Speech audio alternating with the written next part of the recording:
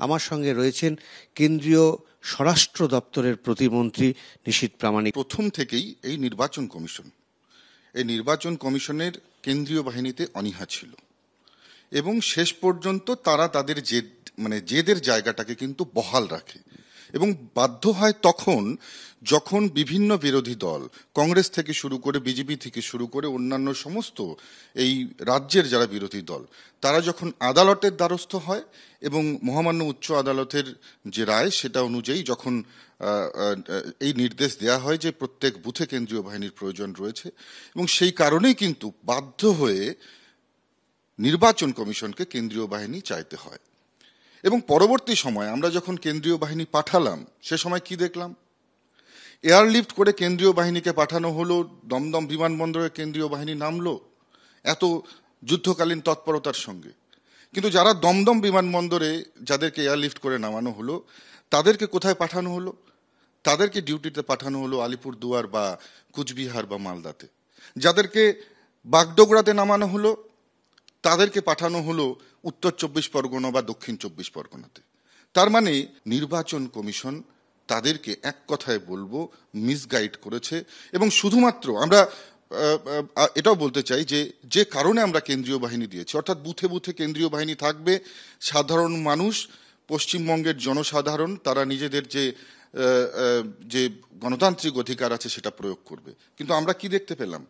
আমরা দেখলাম কেন্দ্রীয় বাহিনীকে শুধুমাত্র পেট্রোলিং পার্টি হিসেবে তাদেরকে বিভিন্ন জায়গায় তাদেরকে শুধুমাত্র টহলদারিতে তাদেরকে রাখা হলো। খুব কম বুথেই কিন্তু কেন্দ্রীয় বাহিনীকে ডিপ্লয় করা হয়। কেন্দ্রীয় বাহিনী যতখানি চাওয়া হয়েছিল আমরা প্রত্যেকটাই দিয়েছি। যতখানি প্রয়োজনে রাজ্যের আমরা যতটা সম্ভব আমরা দিয়েছি শেষ কুড়ি এসেছে আটশো বাইশ কিন্তু আসেনি। যাদেরকে পাঠিয়েছি তাদেরকে ডিউটিতে লাগাননি কেন? শুধু এটা আমার বক্তব্য নয় কেন্দ্রীয় বাহিনীর দায়িত্বে যারা রয়েছেন বা এখানে যারা পশ্চিমবঙ্গের জন্য যারা দায়িত্বে রয়েছেন, তারাও প্রেস মিট করে পরিষ্কার বলেছেন যে টোটাল যে সেন্সিটিভ বুথ সেই বুথের বলা হয়েছে, সংখ্যা দেওয়া হয়েছে এতগুলো সেন্সিটিভ বুথ কিন্তু সেখানকার কোনো অ্যাড্রেস বা ঠিকানা দেওয়া হয়নি। আপনাকে আমি ভারতবর্ষের একজনের নাম বলে দিলাম, ঠিকানা দিলাম না, আপনি কি করে খুঁজে পাবেন? রাজ্যের নির্বাচন কমিশন সম্পূর্ণভাবে বলব একেবারে স্টেট গভর্নমেন্টের একদম এজেন্টের মতন কাজ করেছে। এটা কিন্তু কখনো মেনে নেওয়া যায় না। এবং এই যে মৃত্যু হয়েছে এই যে যতগুলো প্রাণহানি হয়েছে এর জন্য সম্পূর্ণরূপে এই নির্বাচন কমিশন দায়ী। আমার প্রশ্ন হচ্ছে যে কালকে আদালতে একটা এই নিয়ে মামলা আছে হাইকোর্টে আছে।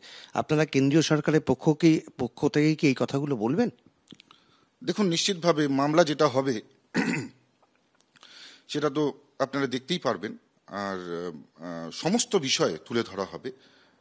বিশেষ করে এতগুলো প্রাণহানি হয়েছে, সেটা নিয়ে তো আমাদের প্রশ্ন করবার একটা রাইটস আছেই। কংগ্রেস, বিজেপি বা সিপিআইএম নয়, সমস্ত যে দল রয়েছে পশ্চিমবঙ্গে, প্রত্যেকের কণ্ঠ রোধ করার চেষ্টা করেছে মমতা বন্দ্যোপাধ্যায় এবং মমতা বন্দ্যোপাধ্যায়ের এজেন্ট এই ইলেকশন কমিশন আজকে বাংলায় যে গণতন্ত্রের উৎসব হওয়ার কথা ছিল, আজকে সেটা মৃত্যু মিছিলে পরিণত হয়েছে। এর জন্য যদি কেউ দায়ী হয়, সেটা এই নির্বাচন কমিশন।